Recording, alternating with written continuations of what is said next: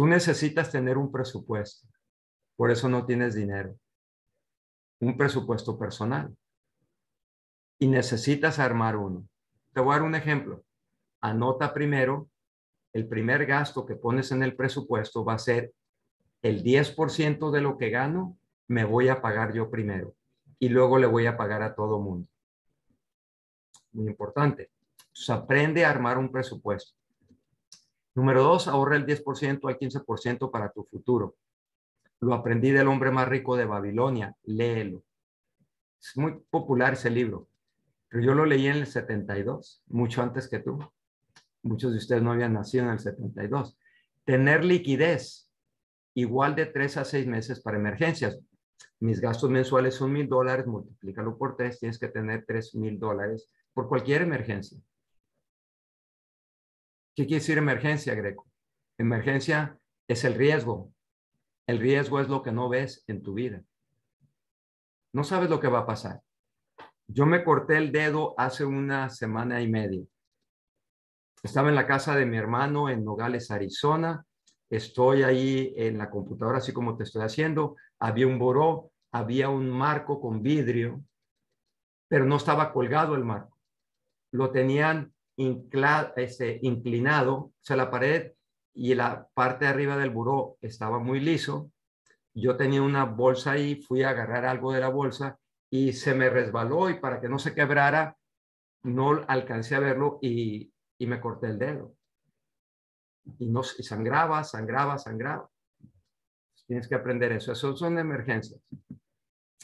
Educarte sobre finanzas personales, saber qué son.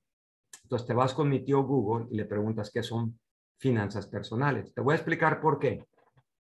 Porque tú ganas dinero. Pero ¿cuántos libros has aprendido sobre finanzas personales, sobre el ahorro y todo este tipo de cosas? No has tomado ninguna clase.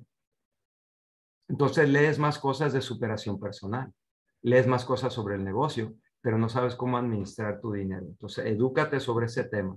Saber administrar tus ingresos es muy importante para poder invertir. El invertir es lo que te va a dar activos en tu vida. Como un mayorista es un activo en tu vida. Anota eso. Un mayorista es un activo y te puede dar de 50 dólares a 200 dólares al mes. Tener un método de seguimientos al gasto.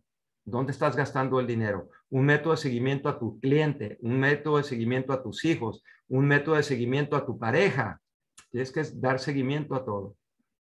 Tienes que dar un seguimiento a las plantas que pones, que plantas, que no se te estén, que estén alimentándose. No tener deudas, comprar casa, invertir en activos, eso es lo que quieres hacer para tener éxito. 10. Entiende y aplica lo siguiente. Aprende sobre el liderazgo vas con mi tío Google y le preguntas, ¿qué es liderazgo? Te van a salir muchas cosas y empiezas tú a anotar, toma algunas notas, etcétera, etcétera. Mercadotecnia. Aprende sobre mercadotecnia. Las redes sociales. Planifica tu negocio. Planifica tu vida. Administración financiera. Pregúntale a mi tío Google qué es administración financiera y aprende sobre inversiones. Pregúntate, ¿cuánto dinero tienes ahorrado? ¿Cuánto deberías tener ahorrado a tu edad? ¿Cuánto vas a tener a los 60 años? ¿No sabes? Déjame darte una idea. Levanta la mano, por favor, para poderte ver. Si te gustaría en tu vida poder ser millonario. Puede ser millonario en pesos, puede ser millonario en dólares. Levanta la mano. Todos. Pero ¿qué estás haciendo para eso? Entonces pon atención. Es por ejemplo, si yo te digo, en un plan de 90 días, ¿cuántos mayoristas debes de hacer? Pues no sabes. Pues aquí te va. Si tienes 30 años, debes de tener de 50 a 100 mil. Mis hijos no tienen 30 años todavía, pero tienen de 50 a 100 mil. Y una de ellas, Triana, que es mayor, tiene más. A los 40 años debes de tener de 200 a, a 300 mil.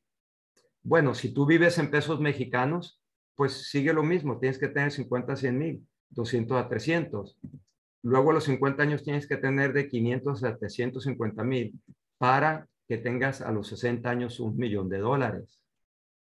Ahí te estoy pasando esa información. Ahora ya tienes una idea y de ahí tú formas. Perú, un fuerte abrazo, donde esté. Gracias, Greco. Saludos desde México. Saludos de Michoacán. Gracias. Gracias, Greco. Buenas noches. Elba de Puerto Vallarta. Saludos, Greco, desde Colombia. Muchas gracias. Hay de Puerto Vallarta, de todos lados. De Colombia.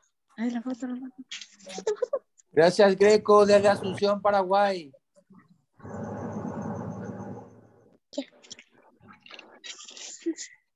Buenas noches a todos. Bendiciones. Gracias. Para